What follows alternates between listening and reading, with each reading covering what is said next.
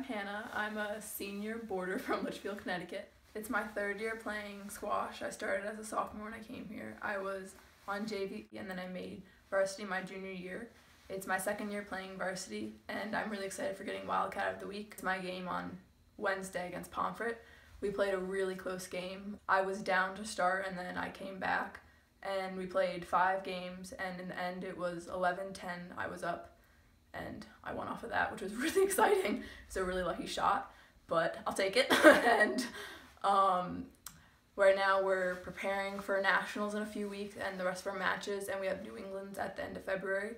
So we have a lot to look forward to, and it's to be a really good rest of the season. Our team's getting along really well. We have a really great coach, Jen. She's really fun, and she's taught us a lot.